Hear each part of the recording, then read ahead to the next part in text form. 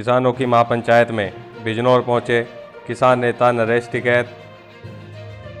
प्राप्त जानकारी के अनुसार जनपद बिजनौर के जीतपुर खरक में आयोजित किसान महापंचायत में मुख्य अतिथि के रूप में पहुँचे भारतीय किसान यूनियन के अध्यक्ष नरेश टिकैत ने बिजली विभाग पर निशाना साधते हुए कहा कि यह महापंचायत किसानों का उत्पीड़न और उनकी गिरफ्तारी के विरोध में हो रही है।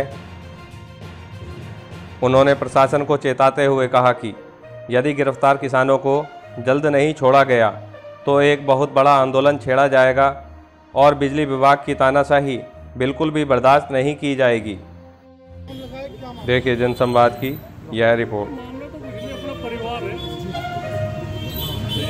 जिला तो आते जाते रहे तो बिजली का मामला है। जो गंभीर है तीन किसान उसमें जेल में है तो कुछ उसमें विचार विमर्श कर रही कल कल मेरा एम डी का वहाँ थी बहुत बड़ी पंचायत थी वहाँ से एम डी कार्यालय तो इसी तरह की बात है। पंचायत की जा रही है खरक गाँव में क्या प्रशासन ने रोकने का प्रयास किया था? हमारे को तो कोई पता नहीं तो यहाँ के प्रशासन को पता होगा। आपके आपके नेताओं को नोटिस दिए गए हैं? नहीं सरकार की मंशा क्या है?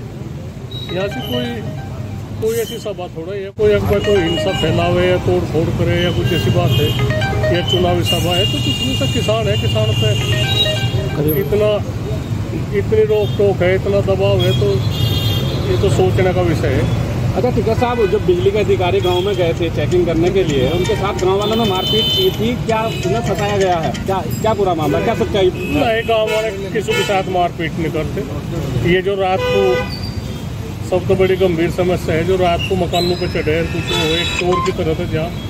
तो चलो कहीं के नहीं मोटी कुछ बात हो जा किसी का कोई बिजली की चोरी की बात है या किसी का पेमेंट रुक रहा हो बिल रुक रहा तो उसके बैठ का बातचीत हो जाए उसकी किस्त भी बन जा। इस तरह का एक जैसे उस दिन ये बात आई कि वहाँ पे एक्शन के ऊपर हमला हुआ और बिल्डिंग चेकिंग करने गए थे उस बारे में क्या वो गलत है या नहीं वो तो एक्शन साहब को तो कोई ठोकर वोकर लगी कोई उनका सिर लग गया किसी उसमें जो हमें पता लगा ऐसी कोई उद्देश्य नहीं लोगों का कोई वो नहीं है मार धाड़ का किसी के साथ कोई वो नहीं है और हम अगर इस तरह की बात हो उसकी निंदा करें उसकी ऐसा नहीं होना चाहता सर अधिकारी अधिकारी है अच्छा क्या ठीक है साहब बिजली विभाग किसानों का उत्पीड़न करने में लगा हुआ है हाँ पूरा पूरा उत्पीड़न करने में लग रहा चार चार स्टेट है हरियाणा है पंजाब है उत्तराखंड है छत्तीसगढ़ है और दिल्ली भी है। सबसे ज़्यादा महँगी बिजली उत्तर प्रदेश में है। हरियाणा में ट्वेल्व का बिल ढाई सौ रुपये महीना है, यहाँ से बाईस सौ रुपये महीना। पंजाब में किसान को बिजली फ्री है। उत्तराखंड में पिछहत्तर सौ रुपये एक साल का बिल है। और यहाँ से तो कुछ वो है ही नहीं। पता नहीं कुछ लेखा जोखा ही नहीं कुछ नहीं क्या है? अच्छा ठीक है साहब चुनाव के समय योगी जी ने कहा था बिजली फ्री करेंगे उत्तर प्रदेश की क्या बिजली फ्री? नहीं उन्होंने चुनावी चुनाव में तो बहुत वादे करे उन्होंने हम तो यही कहे हम फ्री के में नहीं है। फ्री की तो गलत है बात कहाँ से बिजली है हम सही रेट ले लो हमारे पता ऐसी बात नहीं आज किसान बड़ा परेशान है दुखी है किसान। हम सही बिजली का बिल देंगे। हम ना कभी भी ऐसी नहीं करेंगे हम बिल बिल नहीं देते। तो कम से कम मिल बैठ कर बात करें क्या स्थिति है कि ऊपर है बातचीत किस तरह से किसान उभरे। आपके यहाँ मीटर लगाने का विरोध जो आपने कल वहाँ पंचायत की है तो उसे किस केस क्या है उसके नहीं मीटर का तो विरोध नहीं कर रहे हम। बीस पच्चीस हज़ार रुपये महीने का बिल आओगा मीटर का। ये तो इंडस्ट्री से जोड़ रहे जो जो फैक्ट्री की बिजली है इतनी महँगी बिजली किसान कहाँ झेल पाओगा?